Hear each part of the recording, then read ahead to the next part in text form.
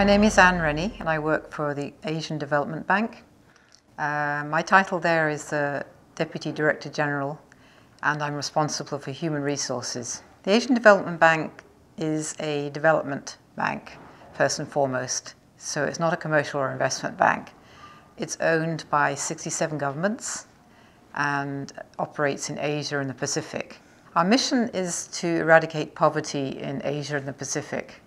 It's a very demanding goal, but it's one that motivates all of us, and that's why we work for ADB.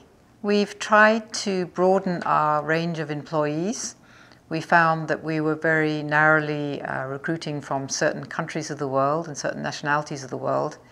And we had a heavy preponderance of nationalities from just four countries, for example. And we wanted to broaden our reach and recruit from all the member countries, if at all possible.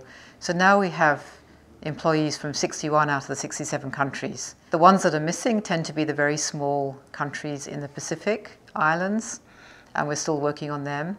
And uh, our initiative helped us to target people in unusual places, for instance, Myanmar now, and Mongolia, Fiji, places like that, which are actually normally quite hard to recruit from for obvious reasons. My decision to become LinkedIn customer arose as soon as I joined ADB two years ago because just to give my own example, it took a year to recruit me through a very expensive headhunter. And think of all the time that it takes to find people that way at a senior level. And I realized that placing an ad for two weeks on our website wasn't going to cut it.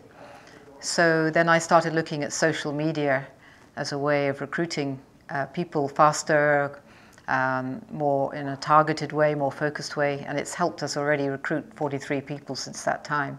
ADB has an interesting employment brand. We cover Asia and the Pacific, so we're well known in Asia and the Pacific, but not in the rest of the world so much. And of course, we are recruiting from the whole world. So LinkedIn helped us to create a brand, an employee brand. We have our own case study now on LinkedIn. We also have um, uh, a page that we have uh, over 60,000 followers following right now, and that was from nothing a year ago. Um, so it's gone up, I think, by uh, five times since we first uh, launched our, our page on LinkedIn. So many people know us, and our recruitment has been shooting up tremendously. What we're doing in HR is we're doing uh, things in an incremental basis. First of all, we asked everybody to change their electronic signature or at least their signature at the bottom of their emails, where we have links directly to social media sites, including, uh, of course, LinkedIn.